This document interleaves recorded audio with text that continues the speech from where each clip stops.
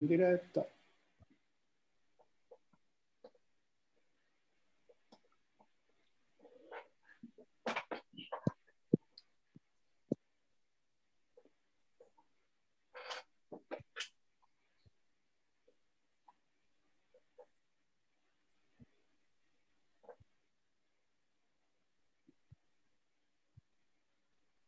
Eh, scusami, mi senti? Eh, sì, siamo in diretta. Sto a un certo punto, non so quando, dovrò allontanarmi un minuto per aprire la porta. Va benissimo, non c'è problema. Essendo solo in casa.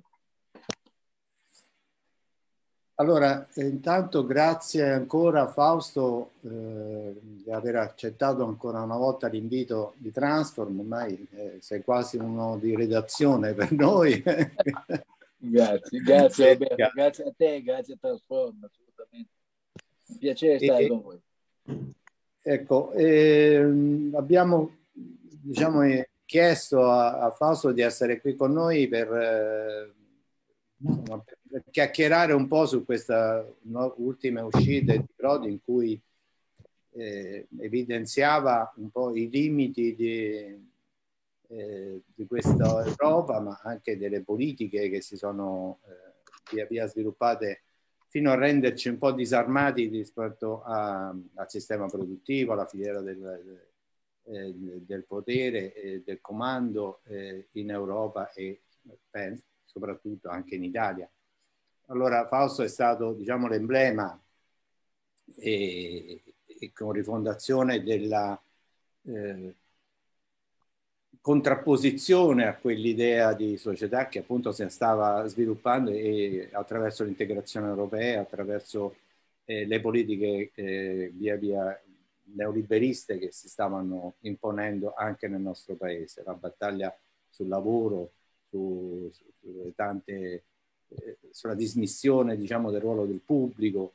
Ecco, questi sono eh, gli elementi che secondo noi sono rappresentate anche eh, dalla vicenda eh, del tuo rapporto con Prodi e con i governi che si sono succeduti in quegli anni. E quindi mi faceva piacere intanto eh, sapere da te come, come, come vedi questa, questa, nuova uscita, queste, quasi una missione di colpa da parte di Prodi e come, come è stata per te quella, quell'esperienza. Eh, grazie, tanti saluti a tutti intanto. Poi, eh, come, come, dice una vecchia battuta, niente di personale, ovviamente, ma indubbiamente Prodi, il prodismo in fondo, è, stato, è stata una delle ultime in, in, interpretazioni eh, in Italia di quel, di quel campo che si chiama centrosinistra la cosa curiosa, ma questo forse ne parleremo poi, è che in questo ciclo completamente diverso da quello precedente, in Italia, solo in Italia, eh, riaffiora la tentazione di tornare al centro-sinistra, eh, persino, persino, con il ricorso a, ai padri fondatori, diciamo, di quel centro-sinistra. E intanto questa è una prima cosa da dire per cronaca, allora c'era una formazione eh, di sinistra che rifiutò sempre, non per tigna, ma per collocazione strategica, di fare parte di quel centro-sinistra.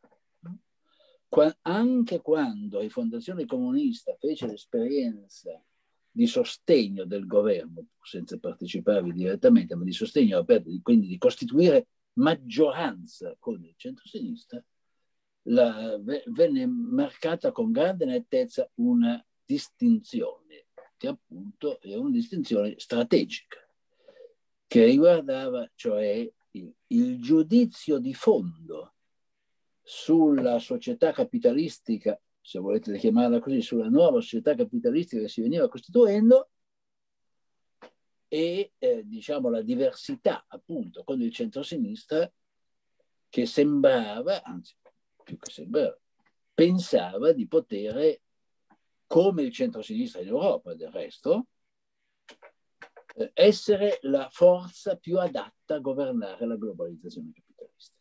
Mm? Quindi, diciamo, una, ci sono due opzioni di fondo.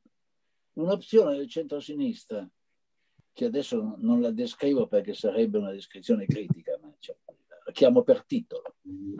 Governare la globalizzazione, essendo la forza più vocata a farlo, perché in sintonia con la modernizzazione che essa implica, e invece una forza, rifondazione comunista, che in sintonia con altre forze critiche presenti in Europa, che poi costituiranno anche il partito della sinistra europea, ma non solo queste, pensa invece eh, che la globalizzazione è, va definita, è globalizzazione capitalistica, non, non globalizzazione, e che si tratta di una gigantesca ristrutturazione che abbiamo chiamato una rivoluzione capitalistica restauratrice. Mm? In, queste, in questo divario strategico c'è una convergenza in questa alleanza di governo. Anche nel tempo breve la differenza è rilevante. Io vorrei ricordare che la rifondazione comunista fu, forse, adesso qui c'è Roberto che insomma, forse se lo ricorda meglio di me, fu l'unico partito comunista in Europa a sostenere l'euro, con una forma però molto, eh, come si può, che allora veniva considerata originale. Sì all'euro, no a Maastricht. Questa la coppia che, veniva, che ha guidato, diciamo, la collocazione di fondazione comunista diversamente da quella del centro-sinistra era la, diciamo, la, la, la, stessa condivisione della necessità di far parte dell'euro, ma con una critica, diversamente dal centro-sinistra, a Maastricht, che era una critica in realtà che si muoveva in quella che diciamo, stati, è stato poi il paradigma della, della, guida della politica economica e statuali eh, europee, ma di più che metteva diciamo, l'accento critico anche sul processo di costruzione di quell'Europa. Mm? Questo è. Eh, quando si vede questa cosa, si vede in, già dall'inizio. Adesso poi finisco perché sennò facciamo un escorso storico, non è importante, è importante cogliere il punto della differenza strategica. No? Questa differenza strategica cade sul terreno, non è che sta nel cielo, cade sul terreno e non solo nella proposizione politica, diciamo, entrambi per l'Europa, loro con l'Europa di Maastricht, noi contro l'Europa di Maastricht per un'altra Europa. Non solo su questo, precipita concretamente anche sulle scelte di governo. Quindi nel cielo alto della strategia, nel, nel punto intermedio delle scelte di politica economica, sociale e istituzionale, nella pratica diretta dei governi. Quando? Quando noi proponiamo in Italia col primo governo Prodi la riduzione dell'orario di lavoro. Eh, naturalmente è un elemento specifico, però è una cartina al tornasole. Perché una cartina al tornasole? Perché in quegli stesso tempo in Francia c'era un governo socialista, eh, il governo di Jospin. Il governo socialista, che aveva molti limiti, intendiamoci, però fa un'operazione importante. Vara la legge per la riduzione dell'orario di lavoro. Noi che già avevamo accumulato molta elaborazione su, questo, su questa questione, ci buttiamo chiedendo che il governo di Prodi faccia una legge. C'è un contrasto durissimo, eh, ma alla fine troviamo un compromesso e si scrive una proposta di legge che viene inviata in Parlamento, lo dico con sorriso consapevole, primo firmatario Romano Prodi, eh, che, eh, che, si allinea diciamo, alla scelta francese con una modalità originale, ma si allinea. Perché cito questo episodio? Perché qui siamo a uno spartiacque. Se il governo Prodi, dopo aver firmato quell'accordo, non l'avesse dismesso e avesse fatto un'alleanza con il governo di Jospin per fare la riduzione dell'orario di lavoro e ricavare da quello l'incipit per una diversa collocazione delle politiche economiche e sociali in Europa, facendo una battaglia politica, anticipando quella che sarebbe, dovrebbe dovuto essere poi un'alternativa al blerismo, che era la manifestazione più compiuta, diciamo, dell'orientamento che presero poi i governi di centro-sinistra in Europa, forse, forse la storia sarebbe potuta andare diversamente. Mm. Questo, diciamo, è l'inizio della vicenda questo, questo, questo inizio della vicenda ha, ha, un seguito, ma il seguito è grosso modo sempre su questo canovaccio, sì, è quasi sempre su questo canovaccio. Adesso poi dovremmo passare a un altro capitolo che è quello invece che ci porta al secondo governo Prodi, cioè l'esperienza dei, del passaggio straordinario dei movimenti fino a Genova, i movimenti altramondista nel, che, che, che diventa la, il la soggettività è un protagonista che trascende la vicenda dei partiti, trascende la vicenda nazionale persino europea, si colloca sul terreno nazionale dalla vita persino poi il movimento pacifista e soprattutto indica qual è, lo, qual è la contesa. Uh, contro, diciamo, l'esigenza cioè di una critica radicale alla globalizzazione capitalistica in cui invece si iscrive l'Europa, cioè l'Europa si colloca lì dentro. Il tentativo sarà ancora, per, ecco, l'ultimissimo, perché ma noi ci diciamo, ma visto che avevate imparato, perché ci riprovate? Eh, sbagliare è umano, ma perseverare, beh, perché riprovate? Eh, intanto per una ragione, come si può dire, di, di, di relazione con il paese. Noi avevamo noi a Fondazione Comunista avevamo, diciamo, per una scelta appunto di coerenza strategica, non per un, come si può dire, non per tigna, eh? avevamo prodotto la crisi del governo Prodi, precisamente per la ragione che ho detto, poi si vede anche sul terreno sociale quello che ha cominciato sulla questione del, dell'orario di lavoro. E, quindi rompiamo.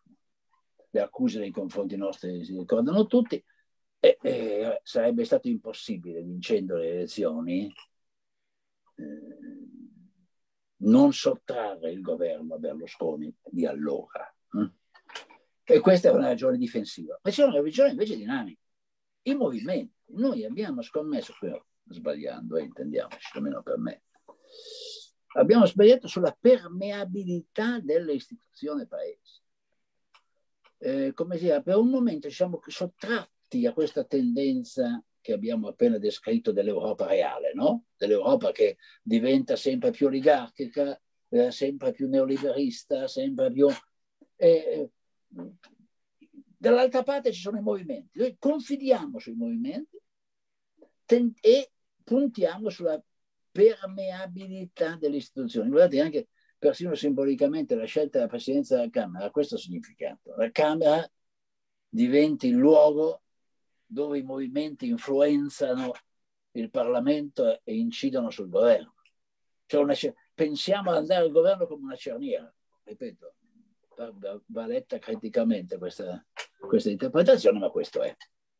Dunque, riassumendo, noi, la Fondazione Comunista, noi siamo stati in un corpo a corpo con il centrosinistra nel tentativo quotidiano di introdurre della sabbia nell'ingranaggio della costruzione dell'Europa reale e della globalizzazione, tentando di portare dei compromessi dinamici e contemporaneamente offrendo ai movimenti, ai soggetti sociali, al paese una alternativa programmatica e strategica al centro-sinistra, certamente essendo una forza di minore consistenza, ma con questa idea di alternativa. Punto sulla storia. L'oggi, io ho due osservazioni da fare. Due. Una, che il centro-sinistra ha proprio un vizio, secondo me, strutturale, che può indicare un cielo dei valori che non sono ispiratori della propria pratica politica, ma sono invece, come dire, un elemento culturale nei confronti del quale la pratica politica si produce secondo il criterio del realismo e della internità al sistema. Questo è il punto, è il punto centrale. Il centro-sinistra, a proposito di doppiezza, qui, qui c'è una doppiezza sistematica della cultura ulivista del centro-sinistra. C'è una separazione tra il cielo dei valori, che è anche influenzato da, da, da, da pensieri interessanti, eh, che, che, vengono nella cultura e nella società, e una pratica politico-sociale, una pratica politico-sociale improntata al più stretto realismo, congiunturalismo, pratica del possibile secondo quello che è dettato dalla compatibilità col sistema economico, sociale e politico in essere. Mm? Per questa ragione non è questione di non credere alle autocritiche, le autocritiche sono come i valori, stanno nel cielo. Si può benissimo dire sì, certo, il centro-sinistra e l'Ulivo e il, la collocazione in Europa di quegli anni, adesso possiamo dire che era sbagliata. Ma perché lo puoi dire senza pagare prezzo e pegno? Perché? Perché oggi per forza il sistema deve fuoriuscire dalla gabbia compatibilista in cui era stato imprigionato dalle politiche di austerity, quando le politiche di austerity rispondevano a quella esigenza, diciamo, di liberare le forze della competitività capitalistica, e invece si deve portare sul terreno della risposta a una recessione che rischia di essere devastante, e per cui diciamo, a partire da, dalla, dalla, Banca Centrale Europea, ad arrivare alla Commissione Europea e quindi anche arrivare ai governi, si introduce una sorta di riformismo del capitale, perché non può più essere imprigionato nella vecchia politica.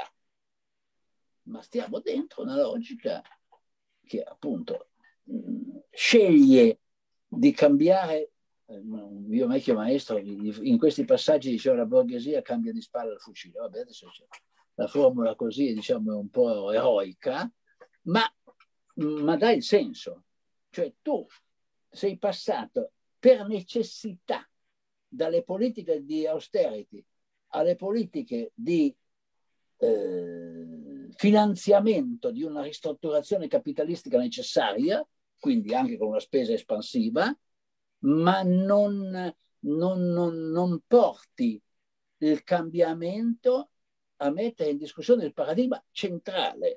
Il paradigma centrale era prima come oggi il mantenimento di questi rapporti sociali.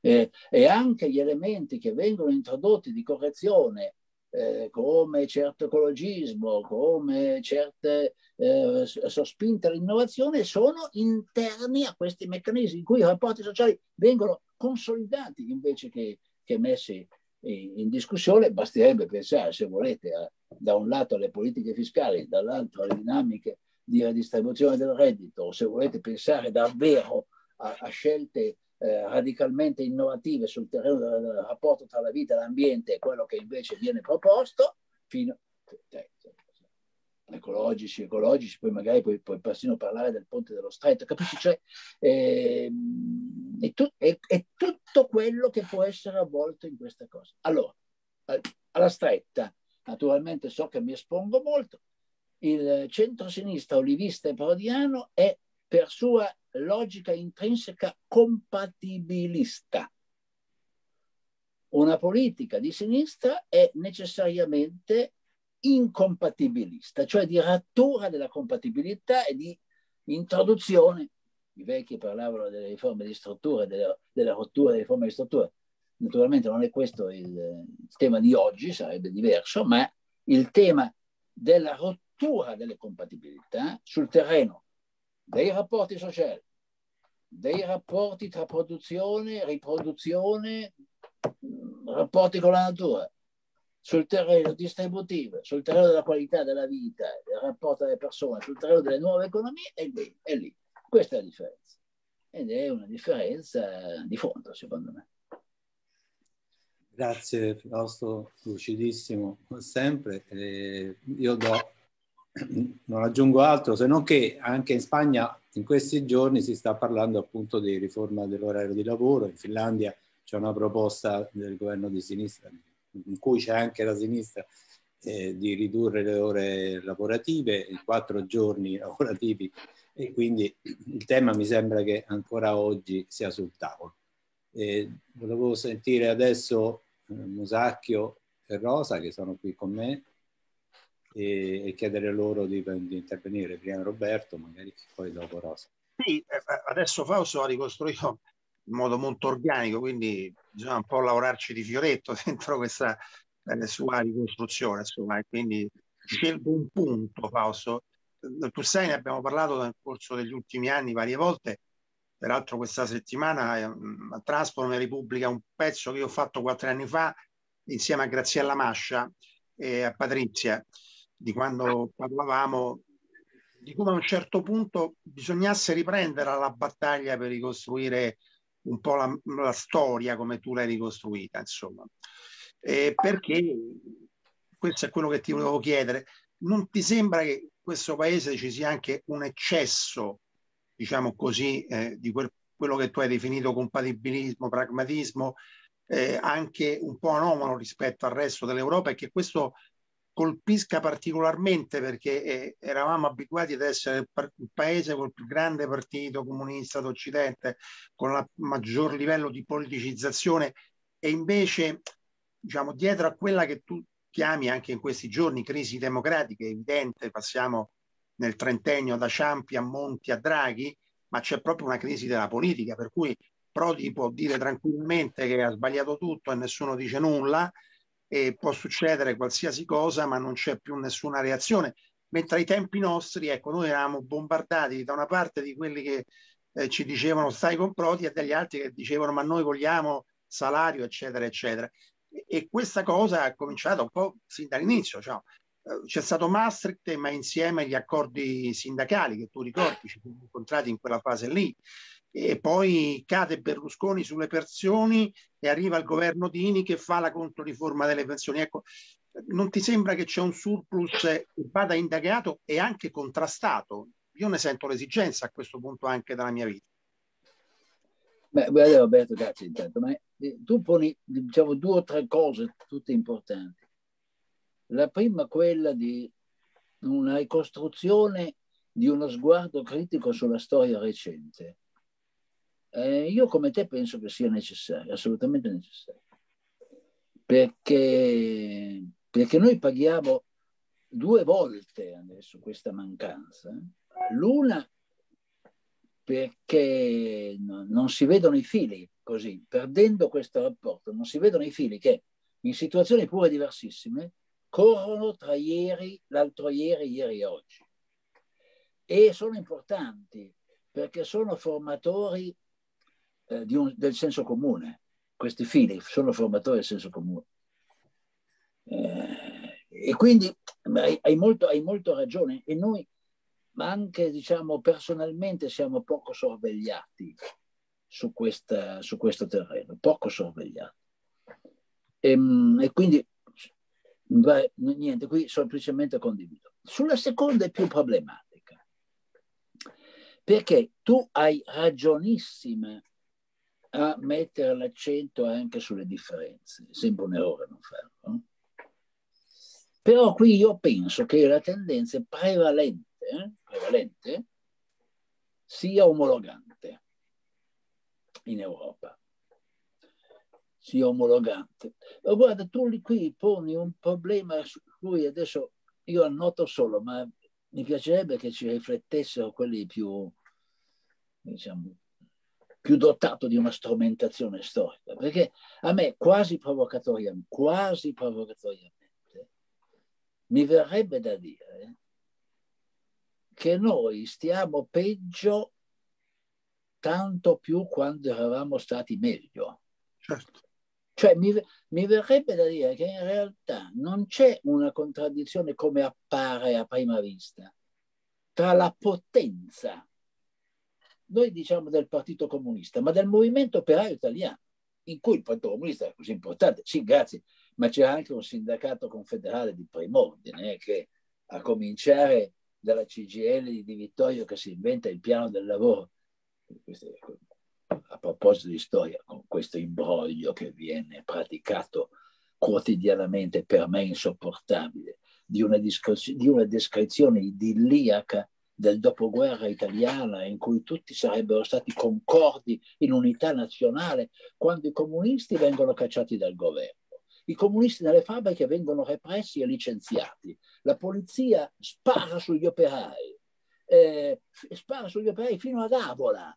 Ma insomma, cioè, lo scontro sociale più drammatico che si conosca, la Fiat la licenzia per rappresaglia gli operai solo perché comunisti e mi vengono a spiegare che invece era il tempo dell'unità nazionale come quello che sarebbe oggi. Cioè veramente un imbroglio sistematico eh, che, che, paga il paese nella mancanza di una memoria storica di sé. Allora, chiuso la parentesi, il, partito, il movimento operaio e all'interno di questo, questa gigantesca costruzione del Partito Comunista, ma anche il sindacato confederale di classe, fino al sindacato dei consigli, eh? L'essere andati così in alto, secondo me, ha determinato nella sconfitta un precipizio col disfacimento di questi sforzi. Cioè, tutti noi, adesso io a volte penso anche a me, per quanto tempo non ho pensato a che rendita di posizione disponevo per il solo fatto di essere iscritto in quel circuito, in termini di conoscenza, di relazioni con persone mondi straordinari, con luoghi di ricerca, con la possibilità di scrivere dal volantino fino alla pubblicazione su una rivista straordinaria. Tutto questo noi c'eravamo dentro, anche eravamo critici, no? ma stavamo dentro questa costruzione gigantesca. È evidente che nel momento che quella colla siamo più soli di altri, perché gli altri in qualche modo erano usi, diciamo, a, come dire, a frequentare luoghi con maggiore difficoltà di quelli che noi...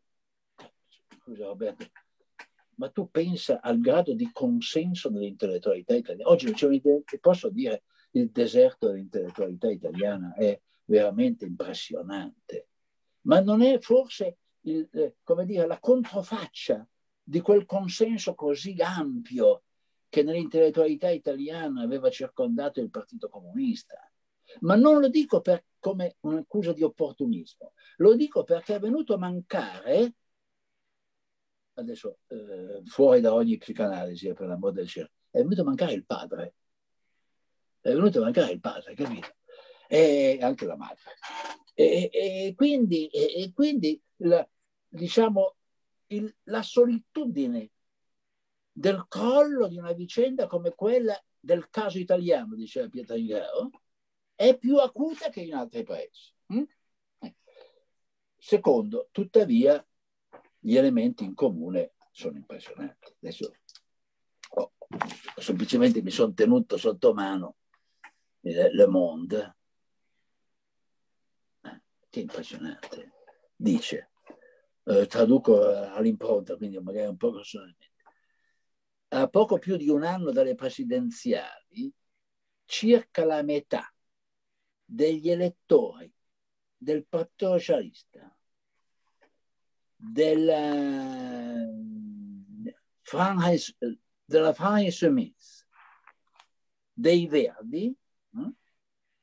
cioè di tutto il campo quindi, pensano e dicono nei sondaggi di non pensare più di fare barrage, cioè la, la disciplina repubblicana, contro il Rassemblement National e dice che nel, nella ricostruzione d'inchiesta eh, quello che emerge è che c'è una destra, una sinistra, i cui mi scusate solo che vado ad aprire la porta, vengo subito, mi scusate, chiacchierate un attimo solo, sono in casa solo. Sì. Grazie Fausto, intratteniamo mentre mentre apre la porta. E tanto ringrazio ancora chi ci sta seguendo perché siamo tantissimi, più di 90 persone adesso in diretta con noi e quindi magari... Ricordiamo... Scusatemi, scusatemi, scusatemi, scusatemi.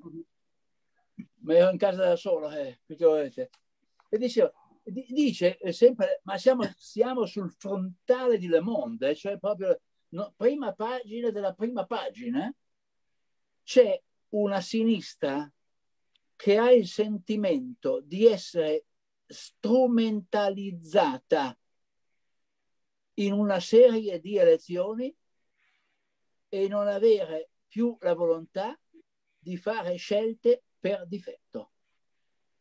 Metà, cioè metà degli elettori di sinistra dicono che non voterebbero più contro Le Pen il candidato Macron, non lo voterebbero più.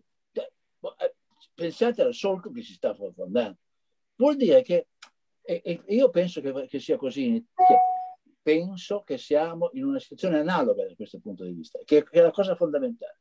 Cioè il disfacimento provocato dal, dalla, dalla scomparsa della sinistra politica di quel sentimento di popolo di tutto il secondo dopoguerra che faceva in Francia della disciplina repubblicana e in Italia dell'antifascismo in politica una ragione comunque sufficiente per votare quelli che un tempo erano gli eredi della sinistra. Questa ragione si sta consumando e questo secondo me è indicativo della devastazione che è intervenuta perché contemporaneamente sono accadute due cose, chiudo rapidamente, sono accadute due cose. Da un lato questo, eh, ve la ricordate la formula famosissima, la cito spesso perché secondo me è straordinaria, Thomas Eliot, in un momento di crisi radicale del, della Chiesa cattolica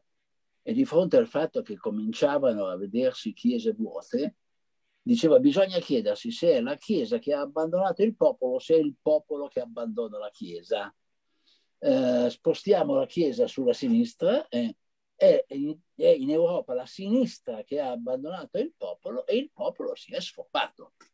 Eh, questo è il, è il punto essenziale.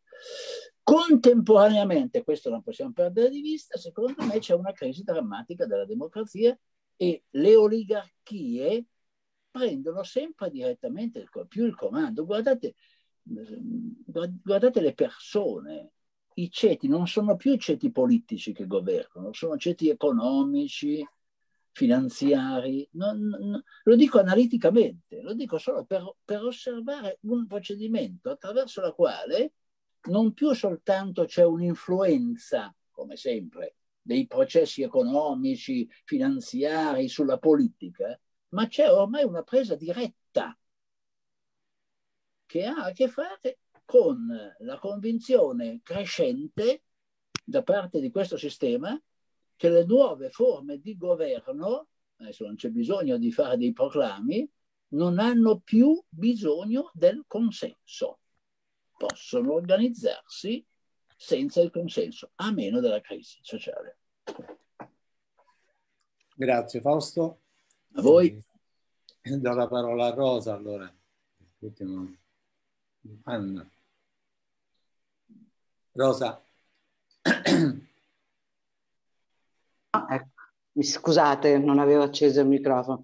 Dicevo, come sempre, parlare con Fausto per uh, chi vuole provare ad interloquire, come nel mio caso, è, è, sempre impegnativo. Ci tengo a dire che quando eravamo insieme al sindacato e lui era in segreteria, io avevo sempre bisogno di, di prepararmi quando dovevo contestargli delle cose, cioè non lo facevo con facilità. In questo caso la, la, la, diciamo, le, le, gli argomenti che Fausto ci ha portato, naturalmente il tema è attorno a Fausto e le esperienze dei governi eh, Prodi. E io però vorrei inserire due cose, mi rifaccio alle parole di, di Fausto Bertinotti. E, ehm, tu hai portato questo esempio appunto di chi dice che eh, non voterebbe più sostanzialmente contro l'esponente fascista in Francia, eh, perché quello che è accaduto non è sufficiente diciamo, a garantire eh, evidentemente diritti o un altro tipo di, o un segno differente di governo. Eh, io penso, proprio per le esperienze comuni fatte anche, che per esempio noi in Italia non abbiamo mai sufficientemente, ne abbiamo discusso diverse volte, ma mai affrontato nella sua serietà di fondo la separazione che c'è stata tra rappresentanza politica e rappresentanza sociale nel mondo del lavoro, che è accaduto da moltissimi anni, in particolare al nord. Per cui tanti e tanti iscritti alla CGL che nelle fabbriche era giudicato il sindacato che più ti proteggeva rispetto al padrone, però nel voto erano gli stessi, ne abbiamo discusso appunto molte volte, che poi votavano Lega, per cui c'era la ricerca di una rappresentanza che ti garantisse, che ti difendesse più efficacemente rispetto ai tuoi diritti, Infa- nel lavoro era appunto il sindacato più radicale, nella, uh, nelle questioni sociali e politiche, in quei casi era, eh, era, la Lega. Penso che questo è un fenomeno diciamo, che ha una sua collocazione nel tempo, ma io penso che non ne abbiamo tratto una, una lezione a sufficienza. Concludo perché ci interessa più ascoltare naturalmente no, Fausto. E su un'altra questione, a me è piaciuta molto questa definizione che tu hai dato sulla, sui vizi strutturali del centro-sinistra. Mi piace molto questa metafora dei valori, diciamo così come un cielo dei valori, come le stelle che sono belle, ma sono almeno per il momento irraggiungibili. Poi chissà chi verrà nel futuro se ci arriverà, però diciamo sono qualcosa di lontano che è tutt'altro dalla, dal diciamo così il sol dell'avvenire o l'orizzonte no, verso il quale ti incammini, che ti dà la possibilità di metterti in movimento, ma noi lo sapevamo che non, avremmo, che non l'avremmo raggiunto. Allora, e mi piace non l'avevo coniugato fino ad ora, insomma, dopo averti ascoltato in questo modo, eh, seppure qualche osservazione nei giorni scorsi l'abbiamo fatto, sulla compatibilità del, del possibile. Allora, la mia non tanto domanda, riflessione che mi piacerebbe tu potessi svolgere per aiutarci, insomma, in questa riflessione è anche questa. C'è una compatibilità interna oramai manifesta e dichiarata sulle politiche socio-economiche tra centrodestra e centrosinistra. Cioè le differenze eh, sono davvero impercettibili. E uno si chiede ma perché uno dovrebbe scegliere il centro-sinistra al posto del centro-destra? E come pote- è potuto accadere oggi, non poteva accadere prima che eh, con eh, diciamo Draghi diventa presidente del Consiglio e forze politiche che governavano con la parte più estrema si ritrovino a eh, fare uno stesso governo con dentro il centro-sinistra e anche un pezzetto di sinistra, diciamo. Quindi come è interpretato que- que- questa cosa? Allora c'è una compatibilità interna che forse, diciamo ancora una volta, richiederebbe una analisi società, come si diceva prima, e dal dove si comincia per provare a ricostruire un'alternativa, altrimenti siamo condannati appunto alla Prodi che fa, presenta un disegno di legge sulla riduzione dell'orario di lavoro, ma poi la responsabilità di quella caduta del, di quel governo è ricaduta, come tu ci hai ricordato ora, nell'immaginario collettivo su di noi. Insomma, sono diversi argomenti che mi hanno dato delle suggestioni importanti su cui mi piacerà riflettere anche più avanti. Grazie. Oh, intanto grazie, grazie, grazie a Rosi e grazie a tutti voi, perché eh, insomma l'impressione di essere a casa è sempre un'impressione molto piacevole. E, poi, e, poi, in una casa che almeno per quello che, che, io la vivo continua a essere così piena di stimoli, di come si può anche amichevolmente essere indagatori, diciamo così, di pensieri anche degli altri. Quindi è sempre un regalo. Eh, alcune cose di quelle che, che Rosa ha proposto. La prima, anch'io penso che la questione del... Cioè, che la questione è la questione di tutte le istituzioni del mondo. Mm? E da questo punto di vista Rosa ha molto ragione a mettere l'accento anche sul sindacato. Eh, questa storia della, della, sinistra italiana è secondo me, insomma, della, della, fine della sinistra politica italiana come soggetto protagonista della scena nazionale, ha a che fare molto con questo versante, quello sindacale. Molto. Ehm, adesso ci sarà una ragione per cui eh, lo sciopero proclamato qualche giorno fa alla Amazon ti produce un'emozione, no? eh, perché è un filo d'erba in un deserto. E anche quando si producono dei fatti importanti, penso al contratto di metalmeccanici, eh, due cose non accadono. Una che occupi la scena politica, anche per un solo momento. E due, che diventi un momento di socializzazione dell'esperienza compiuta, che erano, diciamo così, i, i due elementi, Rosa lo ricorderà bene perché l'abbiamo fatti insieme, tipici della pretesa legittima del sindacato di essere soggetto politico. Ora, ora invece il sindacato quando è soggetto politico è un danno invece che un vantaggio. Ieri era un vantaggio perché il suo essere soggetto politico era il portatore di un'autonomia. Oggi, quando il sindacato diventa soggetto politico, è perché si iscrive nel sistema decisionale. Si iscrive nel sistema decisionale. Cioè diventa diventa politico, si può dire, per metamorfosi, per imitazione, anche quando dice cose giuste. Il, il sindacato ha un grave pericolo, secondo me, uh, di, di imitare metodologicamente l'ulivo, cioè di poter dire delle cose giuste, ma senza sangue e carne. Eh, come in un mondo parallelo a quello reale. Questo, e, qui, e, qui, siamo arrivati con un, con un lungo cammino, eh? con un lungo cammino di un, di un sindacato che, che, è diventato sempre di più istituzionale e sempre di più esso stesso un'istituzione. Una componente istituzionale c'è sempre stata, anche nei momenti migliori. Ma la coppia conflitto-contratto non è un caso che venga eh, riaffacciata da, da, dagli ultimi o dai penultimi e che ha, riacquista un senso pregnante come nello sciopero dei lavoratori dell'Azzo. No? Perché?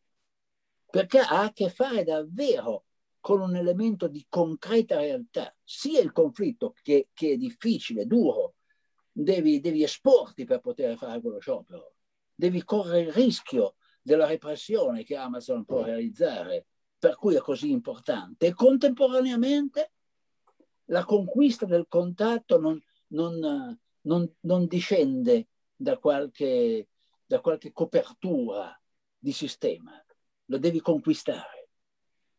Cioè ritorni a questa radice del sindacato appunto come organizzazione della, della rappresentanza dei, dei, dei lavori, diretta dei lavoratori. E se in Italia scioperi per il controllo dei carichi di lavoro, dei ritmi, eh, per, per, le garanzie assicurative, per la possibilità di continuità se ti viene cambiata la proprietà e, nella, e in Alabama devi scioperare per il riconoscimento del sindacato, eh, questo fa riaffiorare una questione che sembrava, che sembrava non ci fosse più. Perché anche diciamo, il conflitto sindacale viene tenuto diciamo, dentro l'ordine costituito. Ecco.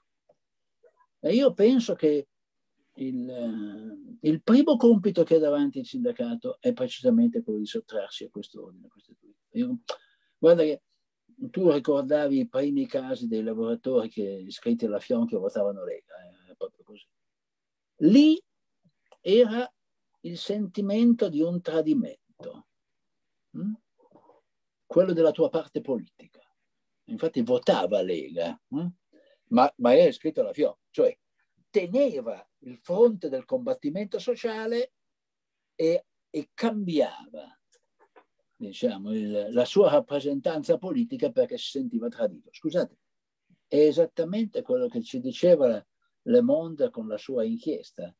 Eh, ripeto il titolo, c'è a sinistra il sentimento di essere strumentalizzati in più elezioni e traditi. Eh, sape- noi tutti che stiamo qui chiacchierando abbiamo sempre aborrito il termine tradimento vero, sulle questioni sociali e politiche e continuiamo a farlo.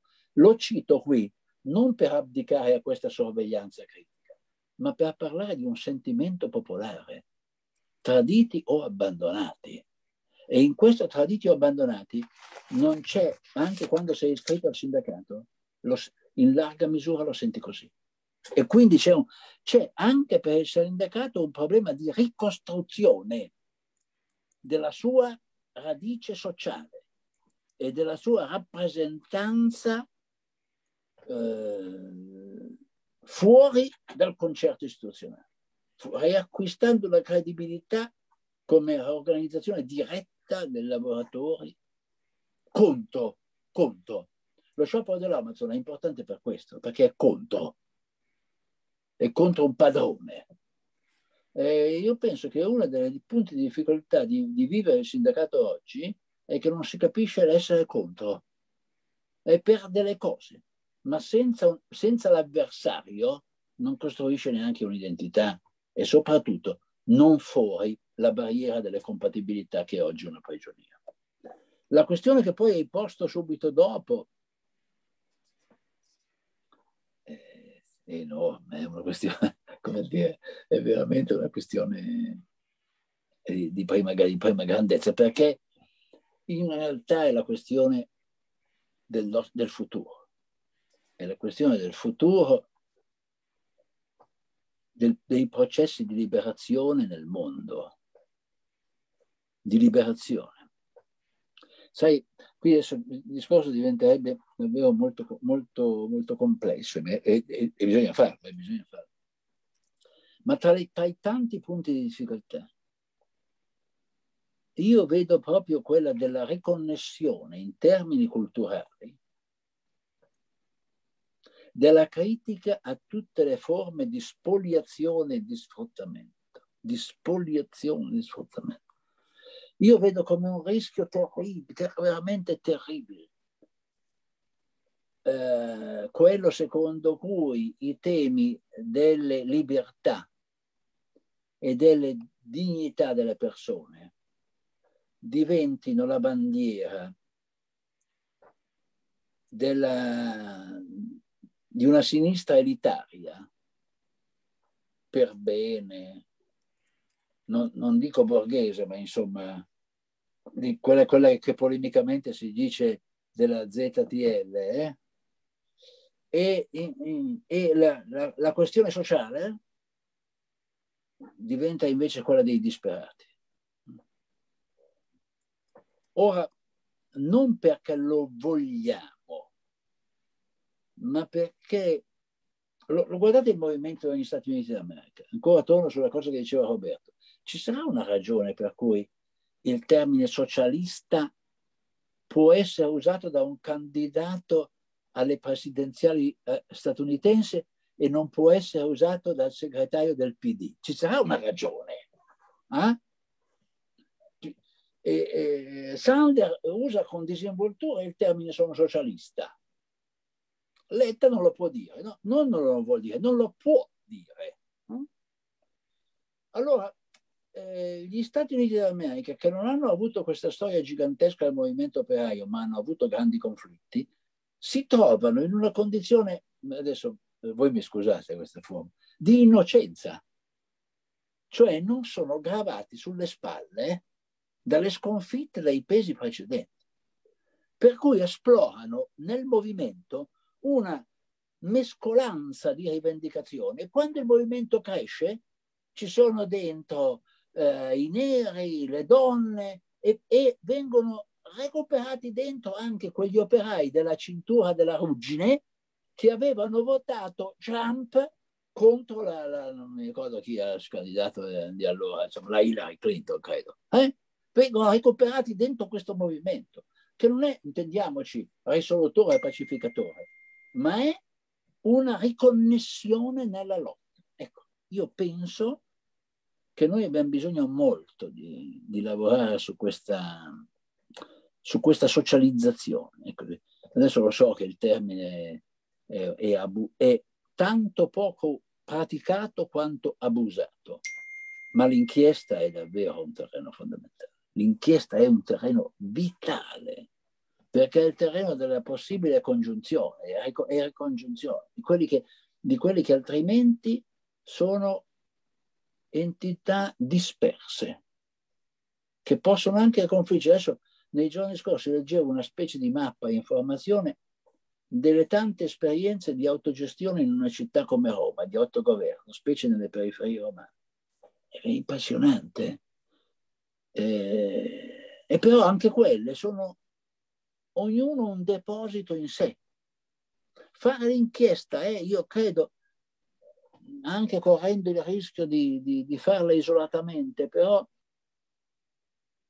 mettere il dito nella piaga, ecco, mettere il dito nella nostra piaga e quindi ricominciare un lavoro che, che da lì ci può portare Rosa anche a quel, a quel, terreno più impegnativo della ricerca che tu ci proponevi, che io penso dovrebbero proprio essere oggetto di un, una volta si diceva di lavoro politico, di un lavoro politico.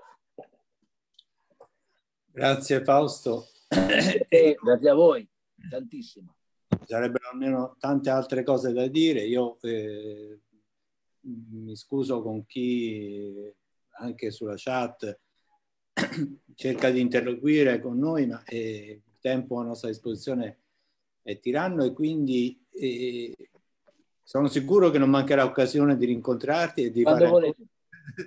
altre domande, altri approfondimenti. Molto... Se, so, mi sento meravigliosamente ospitato. Quindi. mi spiace di non poterti offrire un caffè, un tè. Ma spero che lo potremo fare presto. Perché la prossima volta... L'inchiesta si fa meglio bevendo qualche cosa insieme. Eh? Sì, eh sì, infatti. È assolutamente, cioè condividere e anche eh, costruire una, una comunità, una, senza, senza bere è difficile costruire una comunità, anche se vi voglio bene. anche noi, anche noi. Grazie, grazie, grazie. Un abbraccio grande. Grazie. A grazie a alla tutti. prossima. Grazie. ciao, ciao. ciao.